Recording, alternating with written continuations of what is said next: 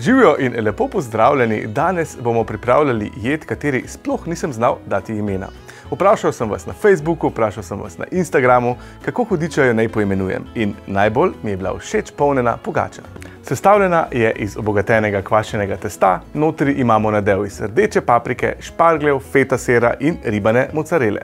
Mogoče je pa še najbolj pomembna domača različica harisa paste. Zelo pikantna in aromatična pasta, ki bo prav prišla pri marsikaterem receptu. Pa gremo kar kuhati. V 210 ml mlačnega mleka dodamo zavoj suhega kvasa in žlico sladkorja. Premešamo in pustimo na strani par minut. V skledo mešalnika vsujemo 350 g moke. Dodamo jajce in 25 ml olivnega olja. Dodamo še 6 g soli. Sedaj prilijemo kvasec in gnetemo približno 5 minut z električnim mešalnikom.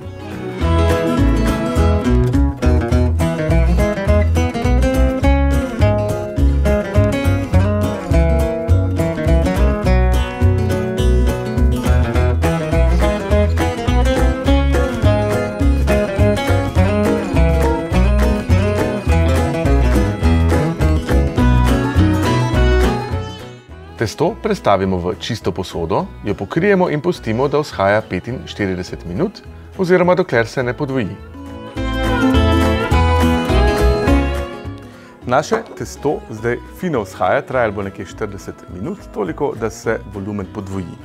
Tukaj pa že grejem ponev, v kateri bomo zdaj na suho popražili koriandrova semena in pa kumino. Dali bomo žličko koriandrovih semen, jaz dam to vedno malo doka, in pa seveda še pol žličke kumine. Pripravljamo pa začimbno pasto, ki se imenuje harisa. Izredno priljubljena zadeva na bližnjem vzhodu, je rahlo pikantna, zelo finega okusa, oh, tole se že krkadi, tole je zelo hiter, mimo grede, nekje pol minutke, minutko in vse zadiši, to bomo potem zmleli v terilniku. Uh, naša harisa je pa super tudi za mesne jedi, za zelenjavo in za našo pogačo. Naša semena so zdaj lepo popražena, sedaj jih damo v terilnik, se pravi, notri imamo koriander in kumino in stremo.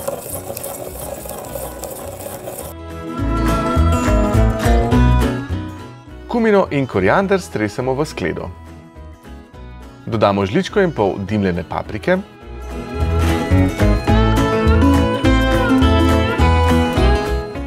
nekje četrt do pol žličke čilija,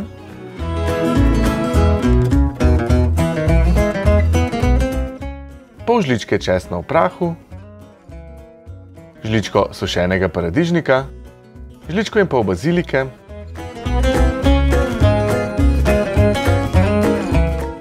dve žlici paradižnikovega koncentrata in vse dobro premešamo.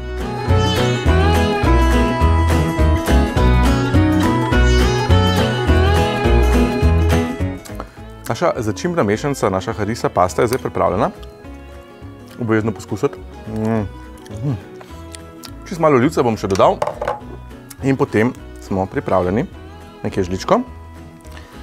Zdaj mi bomo porabili skoraj celo tole pasto v naši pogači. Če bi pa želeli, bi komod naredili večjo dozo te harisa paste, uh, jo mogoče na koncu sam zalili z olivcem po vrhu, da ne oksidira in komod počaka v hladilniku par tednov.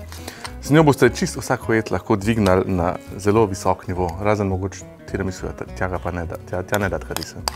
Vse ostalo pa. Oh, idemo naprej.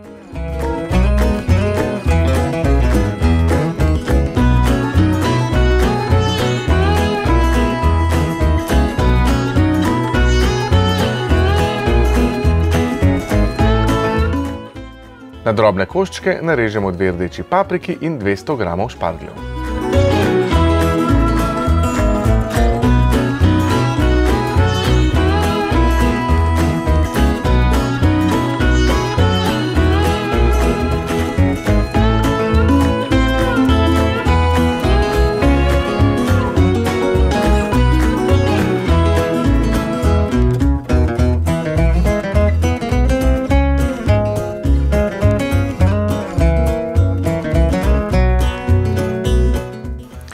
Zelenjavni del naše pogače je zdaj pripravljen, paprika, špargli so narezani na drobno. Upala. Zdaj bomo dodali pa samo še sera, začimbe, zmešamo, nadev bo potem redi, da se lahko lotimo oblikovanja pogače. K zelenjavi dodamo še 150 g ribane mozzarele in 150 g nadrobljene fete. Na to pa primešamo še domačo harisa pasto. Zdaj pa vse, kar je še preostalo, je, da zmešamo tale naš čudovit nadev, ki bo šel v pogačo. Ful je sera, ful zelenjavce, tale čudovita harisa pasta, vse se lepo poveže, potem se pa lotimo resnično oblikovanja našega testa.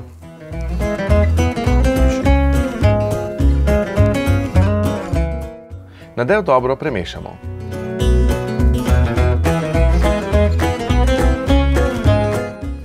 Sedaj na pomokani površini razvlečemo testo v obliki kroga.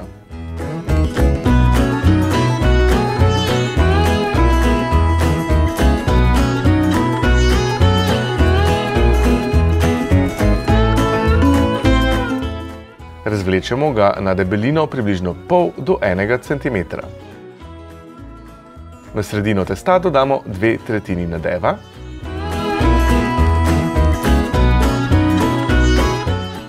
Testo ob straneh zapognemo čez nadev.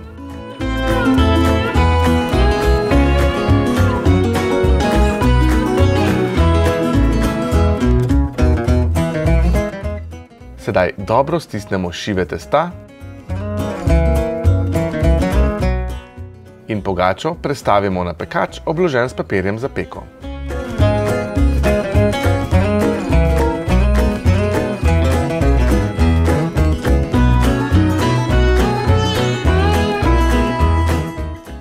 Pogačo sedaj še malce oblikujemo in jo rahlo razvlečemo. Na to pa jo premažemo s tepenim jajcem.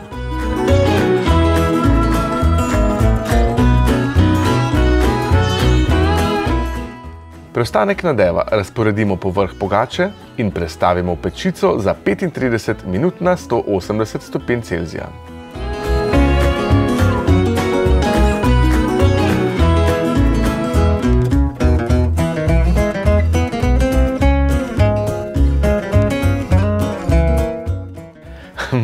užívajte.